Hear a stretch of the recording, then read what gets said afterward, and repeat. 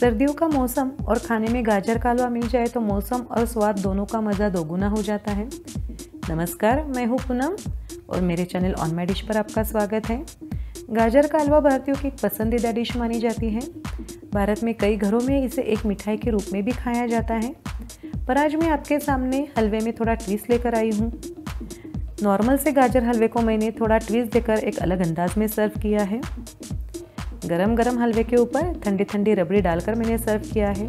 खाने में तो स्वादिष्ट है ही यह डिश, पर मेहमानों के सामने परोसने के लिए भी लाजवाब है। बेशक आपकी वाहवाही होगी। तो शुरू करते हैं रबड़ी गाजर हलवा बनाने की विधि को।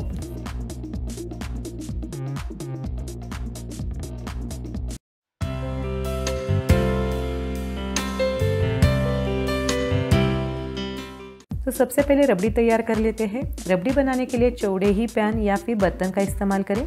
इससे रबड़ी जल्दी तैयार हो जाती है। पैन में दो से तीन चम्मच पानी डाल देते हैं। यहाँ पे मैंने आधा लीटर फुल फैट मिल्क लिया है। वो मैं पैन में ऐड कर देती हूँ। अब जो पसंद करते हैं, वो आप दूध ले सकते हैं। दूध को उबाल आने देते हैं। दूध उबलने लगा है। अब मैं आँच को धीमी कर देती हूँ और तीन चार मिनट के लिए उबलने के लिए रख देती हूँ।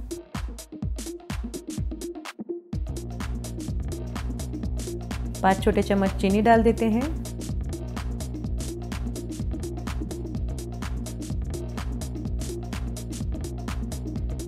Two and half tablespoon milk powder add कर देंगे।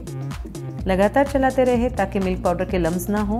अगर मिल्क पाउडर में लम्स आए हैं तो आप चम्मच से दबाते हुए दूध में मिक्स कर लें। अगर आपके पास मिल्क पाउडर ना हो या फिर आप मिल्क पाउडर पसंद नहीं करते हैं, तब आप दूध को आधा होने तक उबाल लीजिएगा। एक कप केसर मिल्क डाल देते हैं। एक कप वार्म मिल्क में मैंने 10 से 12 केसर के स्ट्रैंड डाले हैं और दो मिनट के लिए साइड में रख दिया था। बस ऐसे तैयार हो गया हमारा केसर मिल्क। केसर मिल्क को अच्छे से मिक्स कर देते हैं।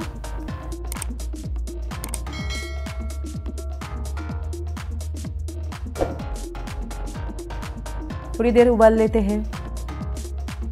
एक चौथाई चम्मच दरदरी कुटी हुई इलायची मिला लेंगे। डेढ़ चम्मच मिल्क मसाला। पाँच मिनट तक उबाल लेते हैं ताकि इलायची और मसाले का फ्लेवर दूध में अच्छे से मिक्स हो जाए।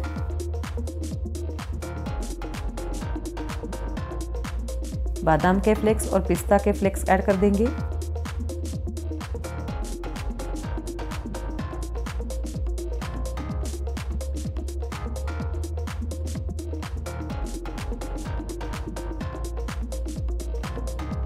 दूध ठीक हो गया है। अब स्टेज पर मैं आँच को बंद कर दूँगी।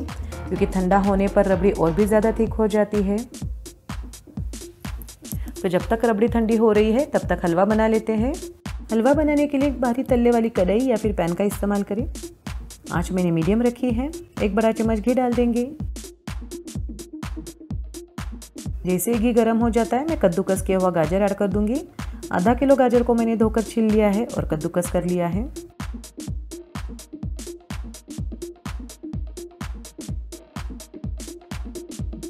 तीन से चार मिनट के लिए लगातार चलाते हुए भून लेंगे।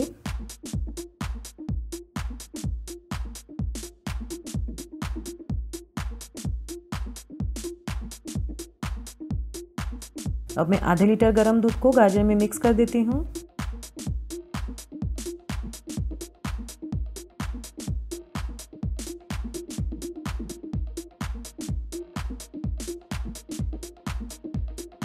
ढककर पाँच मिनट के लिए कुक कर लेते हैं।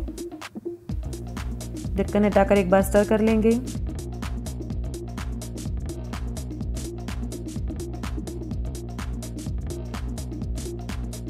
दो बड़े चम्मच मिल्क पाउडर डाल देते हैं और पाउडर को अच्छे से मिक्स कर लेंगे। अगर आपके पास पाउडर नहीं है या फिर आप पाउडर नहीं पसंद करते और मावा डालना पसंद करते हैं तो आप इस स्टेज पर मावा डालिएगा। 10 से 12 मिनट के लिए कुक कर लेंगे या फिर सारा दूध सूख जाए तब तक पका लेंगे। बीच बीच में चम्मच से चलाते रहे ताकि गाजर तल्ले को चिपके नहीं।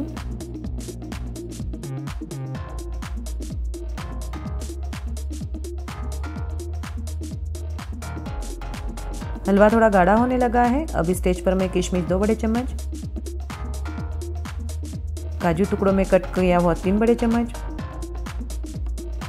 बादाम के फ्लेक्स दो बड़े चम्मच और पिस्ता दो बड़े चम्मच मिला लेती हूँ। अगर आपको ड्राई फ्रूट्स क्रंची पसंद है तो आप घी में थोड़ा फ्राई करें और फिर हलवे में मिक्स कर सकते हैं।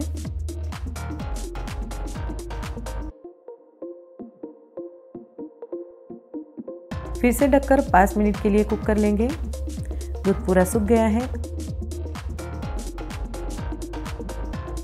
अब मैं 140 ग्राम चीनी को मिला लेती हूँ। आज को मैंने तेज किया है।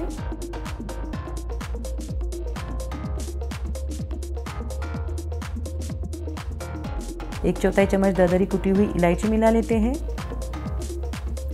लगातार चलाते रहेंगे। हमें हलवे को तब तक पकाना है जब तक कि चीनी का पानी सूख जाए। हलवे को मुलायम बनाने के लिए चीनी को अंत में ही डालें। अगर आप दूध के साथ चीनी डालेंगे तो हलवा मुलायम नहीं बनेगा या फिर ज़्यादा टाइम लगेगा आपको मुलायम बनाने के लिए।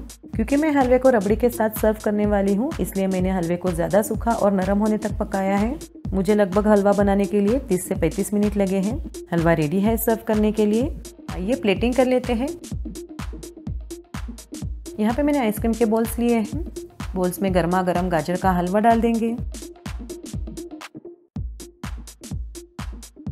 ऊपर ठंडी ठंडी रबड़ी डाल देते हैं। अलमंड और पिस्ता के कतरनों से गार्निश कर देंगे। है ना, एकदम टेम्पटिंग और यकीन मानिए, स्वाद में उतना ही टेस्टी भी है। अगर आप ऐसे मेहमानों को सर्व करेंगे तो आप वाह वाह ही पाएँगे उनसे। आप भी घर पर बनाएँ और मुझे कमेंट्स में ज़रूर बताएँ आपका एक्सपीरियंस अगर आपको आज के विंटर स्पेशल रबड़ी गाजर हलवा की रेसिपी का वीडियो पसंद आया है तो वीडियो को लाइक ज़रूर कीजिएगा। और अनमाई डिश को सब्सक्राइब करना ना भूलें। मिलते हैं ऐसी एक टेस्टी और यमी रेसिपी के साथ। तब तक stay happy stay healthy bye bye